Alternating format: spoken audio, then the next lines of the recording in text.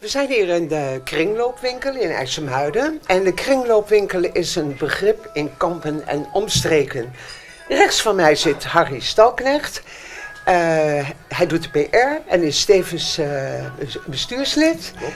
Links van mij zit Lisbeth van der Walde en jij bent bedrijfsleider.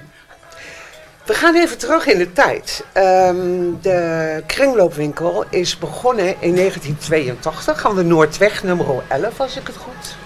11, het oude werkpand. Zal, zal menige kampenaar nog wel voor de geest staan? Fout, we zijn in de Venestraat begonnen. Ja. ja, in de Venestraat, een heel klein winkeltje zijn we begonnen. En uh, toen dat een beetje liep en er wat gelden vrij kwamen, we wat verdienden, zijn wij het pand aan de Noordweg gaan uh, betrekken. Nummer Oude- 11. Is ook zo, ja. ja. Ja, Ja. oude BK-fabriek. We begonnen met een bakfiets. Ja. Ja, Via de, de, wat Koren. de, goud, de Goudsmit Hof is, eh, was onze achteringang. ja, Ja, was bij de Korenmarkt, toch? Bij de Koornmarkt. Ja. ja, klein winkeltje. Ja. Ja. Dus het is heel bijzonder om te zien wat we opgebouwd hebben. Ja, en in eh, eh, 2002 eh, gingen jullie naar dit pand. Dit was het pand van eh Seine. Klopt. Ja. En eh, dat heeft zich intussen nu allemaal uitgebreid, toch? Ja, we zijn begonnen hier in het pand van Seine aan de trekvaart. Voorheen een kistenfabriek. Eh, we hebben nog eh, misschien een detail en het leidt even af, maar op de gevel staat nog een, eh, een reclameuiting van de kistenfabriek van destijds. Dus doen, wij hebben, we vonden het zo leuk dat het er nog was. Dat we toen zeg maar die, kamp, die fresco's van de middenstand, zoals dat wordt genoemd, hebben, hebben, ze, hebben we toen kunnen laten restaureren. dus dat is nog een, een, een, een zicht wat je kunt hebben. Voor rest zijn en toen eh, na een paar jaar kwam eh, de, het naastgelegen pand, wat oorspronkelijk ook van, eh, van de complex deel uitmaakt, van vrij. En dat hebben we toen kunnen kopen. En eh, hebben we kunnen doortrekken. Gewoon een muurtje eruit. En daar hebben we nu onze meubels bijvoorbeeld staan. Ja, dan, daardoor wordt het echt een, is het echt een, mooie grote winkel geworden. Waar we veel kwijt kunnen van wat we willen doen. Ja. Eh, vroeger werd er, was er een milieuwagen, hè? Ja. Die eh, langs de straten ging om spullen Klopt. op te halen. Ja. Metaal, glas, ijzer, meubelen, kleding. Ja. Dat is verleden tijd. Dat is verleden tijd. Eh, kijk, in de jaren tachtig dat we dit op gingen zetten en eh, milieu nog een ondergeschikt kindje was, zijn we wel voortrekkers geweest om papier op te halen, glas op te halen, metaal op te halen en textiel. En dat was ook een van onze doelstellingen. Hè. Milieu stond, staat nog steeds hoog in het vaandel. En ehm, nou, de tijd heeft ons ingehaald. Hè. We kunnen eigenlijk met trots zeggen, eh, eh, de wereld is zo veranderd dat wij nu met z'n allen, hè, ook de overheid, grondstoffen inzamelt. Ehm, wat daar een beetje zuur van is dat wij dat opgezet hebben. En ehm, wij heel blij zijn dat het nu gedragen wordt door de overheid ook. Hè. Dat is een doel voor ons geweest. Maar wij zijn wel die werkzaamheden toch kwijtgeraakt. eh. Dus we zijn aan de ene kant heel blij dat dat opgepikt is. Hè, dat er hergebruik hoog in het vaandel staat. Hè, dat, je kunt je plastic kwijt, je kunt je metaal kwijt. Maar wij zijn dat werk wel kwijtgeraakt en hebben het wel opgezet. Dus het is wel een soort kindje wat we ook Ja. eh, de deur uit laten gaan, maar wat we wel kwijt dus zijn. wij- Wij hebben jarenlang toch dat, dat papier opgehaald en, Ja. en zeg maar de basis gelegd. Maar toen het echt eh, van afval bestaat niet. Hè, want tegenwoordig zeg je het afval zijn allemaal grondstoffen en terecht ook. Dus eh, toen werd het, en het werd ook regel- door de, de regelgeving vanuit de centrale van de, van de regering werd ook gezegd, jongens, dit, mogen, dit mogen we niet meer storten, dat moet, moet worden hergebruikt. Ja, op dat moment hebben, hebben, ze, hebben de zeg maar, andere instanties dat stokje van de papieren ophalen of het blik ophalen overgenomen. Ook op, op, op het oog van, eh, ja, dat is efficiënter of dat kan- beter als, als je het zo doet. Eh, maar daardoor hebben wij dus dat werk, zijn wij kwijtgeraakt. Dan moeten wij dus kijken, want met werk kwijtraken raak je ook inkomen kwijt, hoe je dat kunt opvangen. En dat is wel eens problematisch. En af en toe dan eh, kwamen we wel weer eens naar de, de, in het nieuws of gingen we eens naar de, de, de, de, de bestuurders van de stad om te vragen, nou kijk, dit, is, dit hebben we gedaan. Dit is nu het probleem wat op ons pad komt. Hè, kunnen we elkaar daarin helpen? Want wij hebben eh, nog steeds, hoop ik, en ik, ik hoor ook niet anders, nog steeds wel een bijzonder plaatsje binnen Kampen. En, en mensen denken toch bij tweedehands al heel gauw aan de kringloop. En dat, eh, gezien onze, onze geschiedenis hier is dat ook niet zo raar. Maar je moet er wel steeds wat voor doen. Het gaat niet vanzelf, uh, zoals niets in het leven. Nee, is met alles in het leven, hè? Het bijzonder is natuurlijk dat wij toen in de jaren 80 begonnen zijn met een grote groep vrijwilligers, grote uh, jeugdwerkloosheid.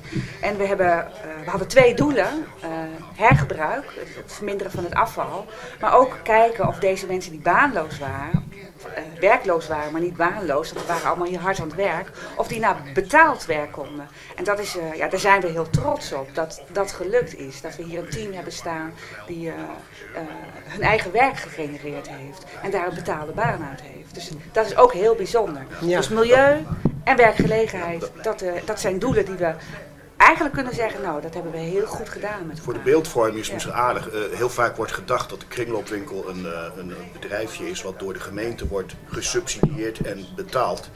Uh, misschien aan om het toch even recht te zetten. De kringloopwinkel is een zelfstandige onderneming, in dit geval een coöperatie, die helemaal zijn eigen broek ophoudt. Wij krijgen wel gelden, maar dat zijn vergoedingen voor diensten die we leveren. Dat is een detail.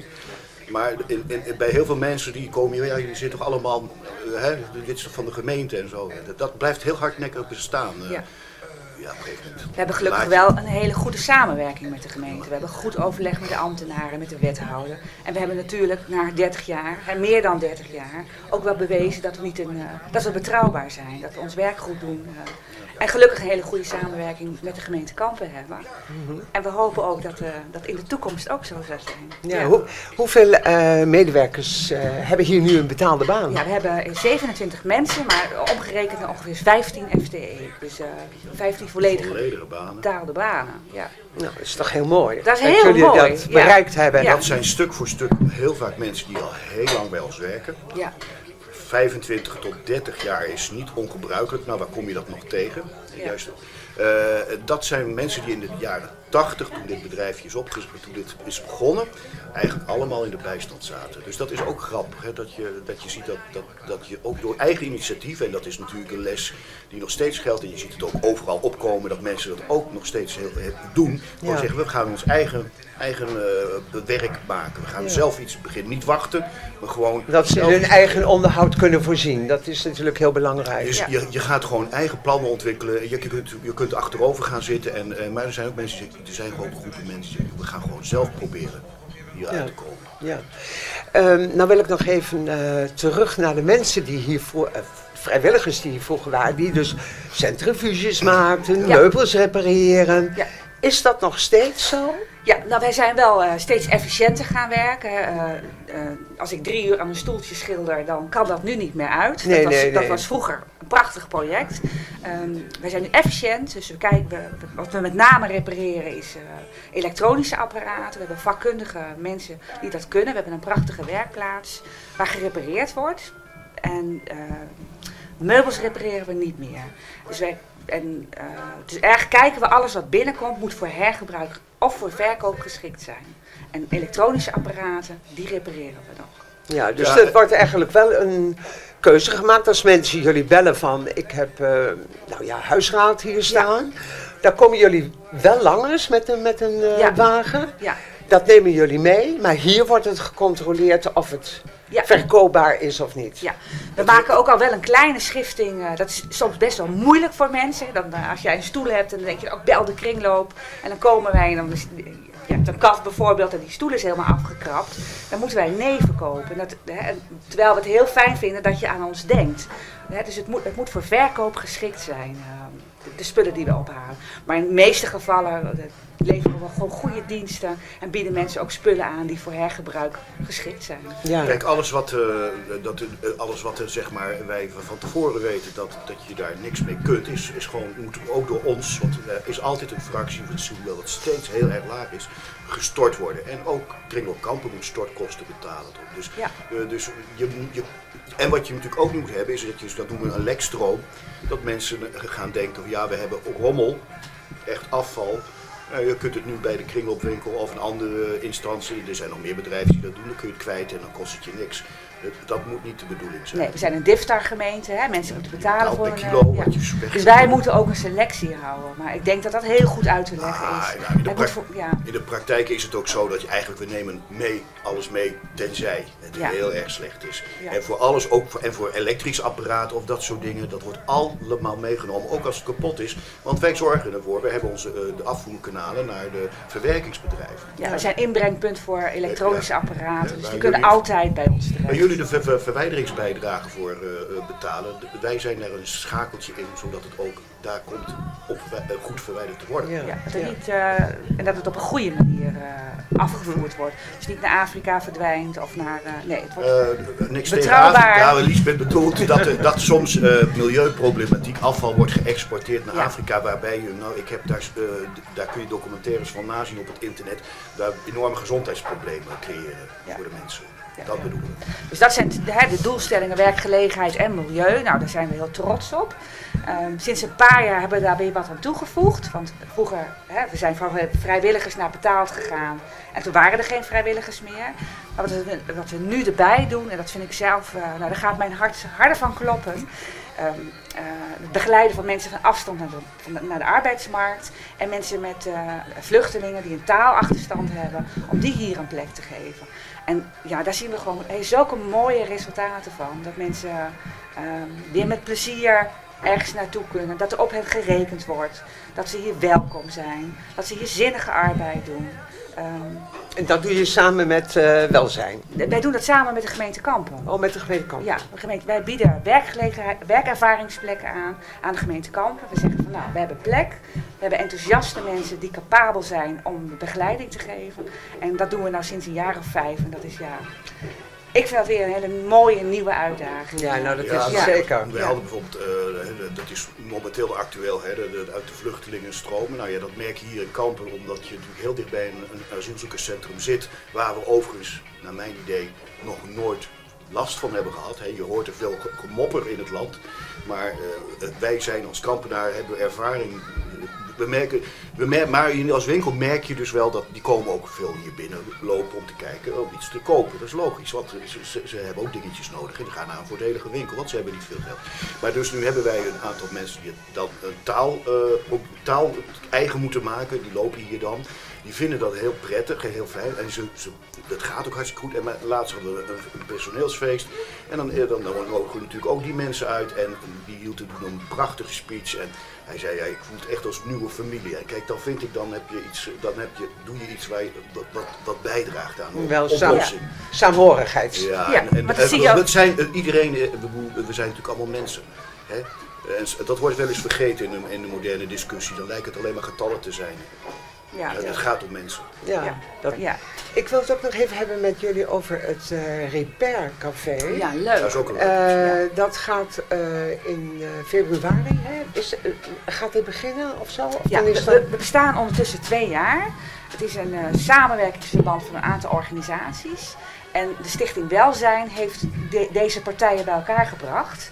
Zij hoorden geluiden dat meerdere mensen een repaircafé op wouden eh, zetten. Ja, want een Repair Café is een landelijk, is landelijk bestaand Ja. initiatief waar je bij kunt aansluiten met een lokale afdeling. Ja. Oké. En eh nou, Kringloopwinkel Kampen doet ook mee. Wij faciliteren, wij bieden hier de ruimte. Eh, en ja, dat is ook enorm leuk. Eh, we, we doen dat nou een aantal keer per jaar. En eh, dan komen allerlei mensen hier tussen 10 en 1 uur met hun spulletjes. En dat kan zijn eh, een meneer die net weduwe is en die zijn broek stuk is en die dan hier gemaakt wordt. Die, die, die geen contacten heeft, maar zo bij ons komt. Of eh, heel veel senioren mensen die nog tegen de wegwerpmaatschappij zijn. eh, die komen hier met een koffiezetapparaat of met hun dia-projector of met, nou noem maar op. En dat wordt hier door vrijwilligers gerepareerd. En dat is een hele gezellige morgen waar, eh, waarin ik ook weer verbaasd ben. Hoe, is in twee vergaderingen is, is dat tot stand gekomen. Hoe snel daadkrachtig kampen, kampenaren kunnen zijn en eh, met elkaar iets op gaan zetten. Het Ja. is misschien toch goed om eh 23 februari hier Ja. dat? Ja. Nou, het is misschien toch goed dat wij van eh RTV IJsselmond even een paar shots Het- het- het- maken. Erg leuk. Van eh, hoe dat eruit ziet, wat voor mensen hier komen en eh, wat ze allemaal eh, laten repareren. Van harte uitgenodigd. Ja, Ja, leuk. heel leuk. Ehm, ik heb nog een laatste vraag en dat is van hoeveel mensen komen hier zo per dag Ja, naar de ehm, kringloopwinkel? We zitten ongeveer op 250 betalende mensen. En dat, ik bedoel, die kopen niet allemaal een bankstel, maar die kopen ook een mes van 30 cent.